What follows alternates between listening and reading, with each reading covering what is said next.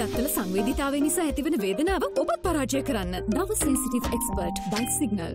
දෙදහස් විස්ස නව වසර උදාව සමරමින් අක්‍රමාත්‍ය මහින්ද රාජපක්ෂ මහතා අද උදැසන ඓතිහාසික රුහුණු මහා කතරගම පුදබිම වෙත පැමිණි අතර අග්‍රාමාත්‍යවරයා පළමුව කිරිවෙහෙර රජමහා විහාරස්ථානය වෙත ගොස් සම්බුද්ධ පූජා පින්කමට එක්වුණා.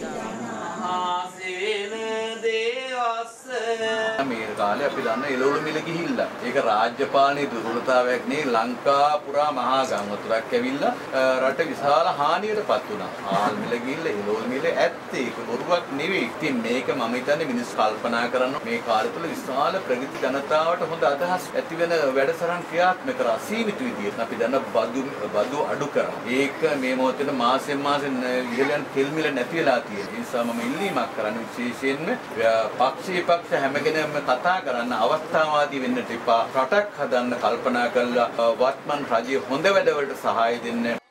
අනතුරුව අෂ්ටඵල බෝධීන් වහන්සේ වැඳපුදාගත් අග්‍රාමාත්‍යවරයා දිවංගත අග්‍රාමාත්‍ය සිරිමාව බණ්ඩාරනායක මහත්මියට පින් අනුමෝදම් කරමින් පැවැත් වූ පිරිත් පින්කමටද සහභාගී වුණා.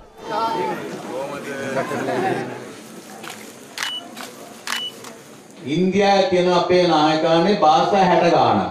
එක ජාති ගීයයි. මේ ජාති ගී දෙකක් යොමු කරලා ගෝඨාභය රාජමහත්තුමා මහින්ද රාජමහත්තුමලු කැබිනට් මණ්ඩලයේ තීන්දුව කරා නෑ මේක කාලය ගත වෙන අනවශ්‍ය වැඩ ලෝකේ අනිත් රටවල් දිහා බලන්න.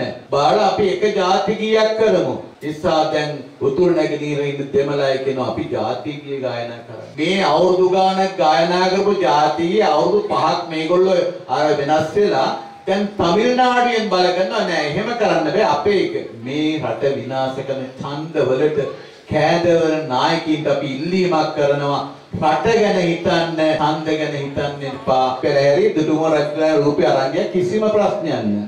ගිය අවුරුද්දේ පෙරහැරි මට තහංචියක් දැම්මා. ගාමී ජයග්‍රහණතුමාට දුරකථන පාඩයක් අරන් දුන්නා. පස්සේ එතුමා කියනවා ආනේ පෙස්සමගයක් කියලා මං කො දෙගියනේ පෙස්සන් එන්න ඕන දුටුගැමුණු රජුරුවන්ගේ රූප වෙනුවට මහින්ද මෙතුමාගේ රූපය අරන් යනවා නම් මේ අරන් යන්නේ මේ දේවාලය හදුව මිනිස්සෙගේ රූපේ. පස්සේ මට තාමක අරන් යන්න මෙපා කියලා පස්සේ නිලුතුමාටත් අසරණයි. ඊටේ හිතුවම කොයිපයි කිව්වේ. මේ ඔබතුමා මේ රට බේරගත්තනේ. ඔබතුමාටත් මේ ගෞරවයයි කියලා මට තහංචි දැම්මා. දුටුගැමුණු රජුරන්ගේ රූපය අරන් මගේ බලයට අරන් ගියේ මැතිතුමනි. මේ අපේ අනන්‍යතාව අපිට ආරක්ෂා කරන් දෙන්නේ නැහැ. අපේම අය. අපිට මතකයි පසුගිය ආණ්ඩුවේ හිටපු ඇමතිවරුන්ට රාජ්‍යත්වයක් නැහැ. දෙකයි තියෙන්නේ. ඒ වගේම පාසු ප්‍රහාරයක් වුණා. මේ රටේ ජනතාව බය දැන් අද බයක් නැතුවේ. අපිට පේනවා ඒ කරන ප්‍රකාශ වලින් ඒ කට්ටියට උනේ අර සාපයක් උනේ මොකද සංඝයා වහන්සේලා නැහැ කිව්වනේ. සංඝ සරණක් නැහැ. ඉන් පසු අක්‍රාමාත්‍ය මහින්ද රාජපක්ෂ මහතා කතරගම දේවාලයේ වසරේ ප්‍රථම පූජාවට එක්ව ආශිර්වාද ලබා ගත්තා.